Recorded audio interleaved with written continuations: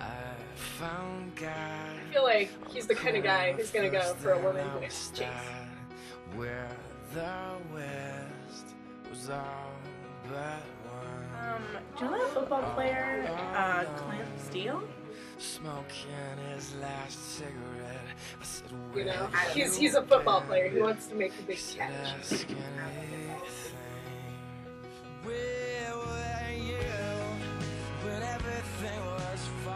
It's a deal.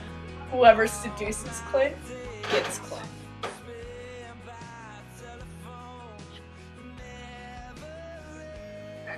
So I was thinking maybe I'll play hard to get, you know? I've heard that's a good way to seduce a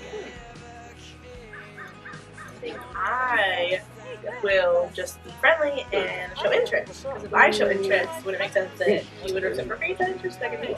I don't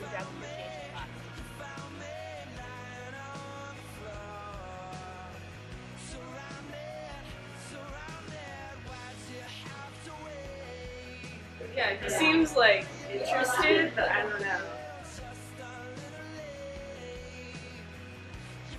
But I feel like he's kind of reciprocating my interest, you know? Yeah, he's he's a mysterious man.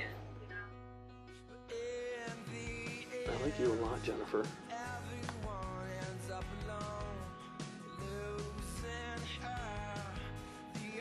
Who are you gonna choose, Clint, Regina, or Jennifer? Well, I like them both, but I think Regina's my favorite. Jennifer is a lot nicer to me. Finally got to hang out. Yeah, me too. I've been wanting to for a long time. Okay, so tell me, what is it to do when you're not studying for finals? Well, you know, when I'm not studying for finals, um, I'm usually riding my motorcycle or uh, lifting with my boys. Well, I like Regina, but I don't think our attraction is real.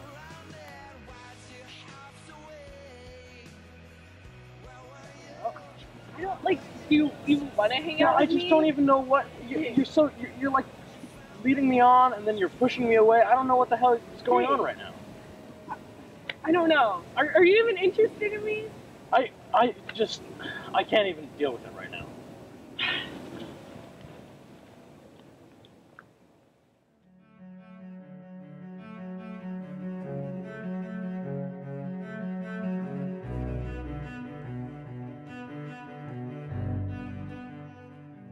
I need another story.